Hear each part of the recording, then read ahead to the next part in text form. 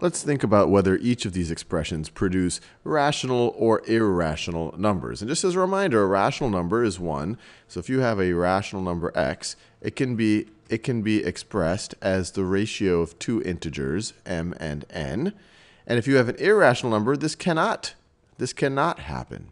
So let's let's think about each of these. So 9 is clearly a rational number. You can express 9 as 9 over 1, or 18 over 2, or 27 over 3. So it can clearly be expressed as the ratio of two integers. But what about the square root of 45? So let's think about that a little bit. Square root of 45, that's the same thing as the square root of 9 times 5, which is the same thing as the square root of 9 times the square root of 5.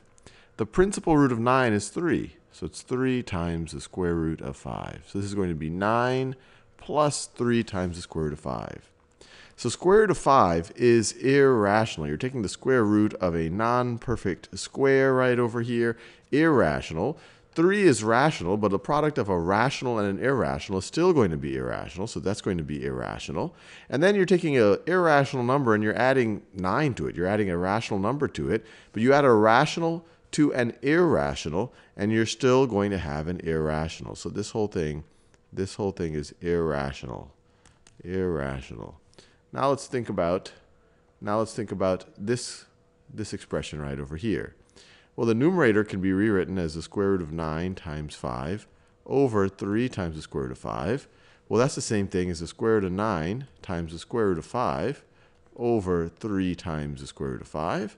Well, that's the same thing as 3 times the square root of 5 over 3 times the square root of 5. Well, that's just going to be equal to 1. Or you could view it as 1 over 1. And 1 is clearly a rational number. You could write it as 1 over 1, 2 over 2, 3 over 3, really any integer over itself. So this is going to be rational.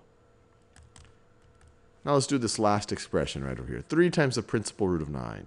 Well, what's the principal root of 9? was 3. So this is going to be 3 times 3, which is equal to 9. And we've already talked about the fact that 9 can clearly be expressed as the ratio of two integers. 9 over 1, 27 over 3, 45 over 5, all different forms of, or uh, different ways of expressing 9.